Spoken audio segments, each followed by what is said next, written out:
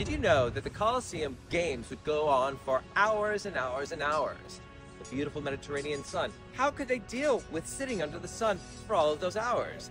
Because the Romans were quite crafty, and what they would do is they would build a giant sail or a canvas. We call it a vela, velarium, is what would be built to extend and retract to protect the Romans from the sun and the rain.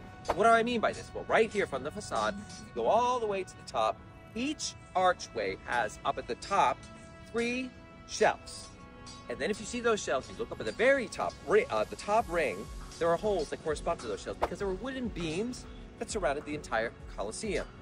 There were, since there are 80 archways, three shelves to each arch, there were 240 of these beams. And so they would go up and then falling through possibly out over the audience. And that is where you would have these canvases, these strips of cloth, either strips or one big piece, that were pulled by sailors either up at the top or the bottom here to have the canvas come out and protect the Romans from the sun and the rain. But the center would be exposed so they could still see the action going on inside inspired in where to go and what to see, and learn more about the Colosseum. Follow me and through eternity.